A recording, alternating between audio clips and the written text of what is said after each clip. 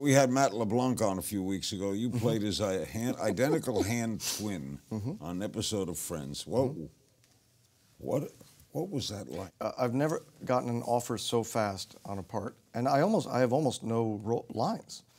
I come in and he Matt LeBlanc comes in and says to me, "This hand is your hand, this hand is my hand." and uh, you know, I've spent my life. I've written films. I've written books now. I've struggled. The one of the things I'm best known for is, "Hey, Joey's hand twin, how you doing? how you doing?" So it's uh, although I- I've stayed friends with Matt LeBlanc. He's a good guy. He's a great, great guy.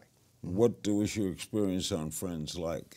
You know, uh, I did two episodes of Friends, very small part, Joey's hand twin named Randall. And I don't remember if I met, most of the cast never really said hello. It was at that point where they'd been at the show for a long time. And everybody's making a million dollars a week, something like that.